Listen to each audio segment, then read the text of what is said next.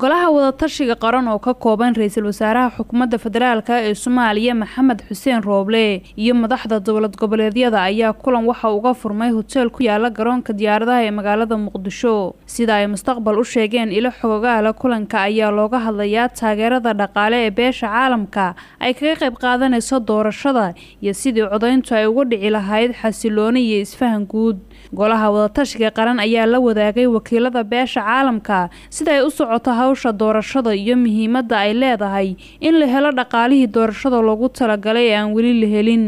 Wakiilada beesha caalamka ayaa dhankooda dalbaday in la xaliyo tabashooyinka ay qabaan golaha midowda musharixiinta iyo ururada bulshada rayidka si doorashadu ay ugu dhacdo qaab wadar ogol ah saaxiibada beesha caalamka ee soomaaliya ayaa sagaalkii bishan agoosto saxiixay. Toddoba dhibic toddoba milyan oo doolar oo lagu taageerayo hanaanka geedi socodka doorashooyinka dadban ee dalka oo ay ku jiraan wacyigelinta dadweynaha ku guuleysiga qoondada haweenka ee boqolkiiba soddon iyo howlgallada doorashooyinka ee dalka. Shamiis cabdiraxmaan mustaqbal muqdisho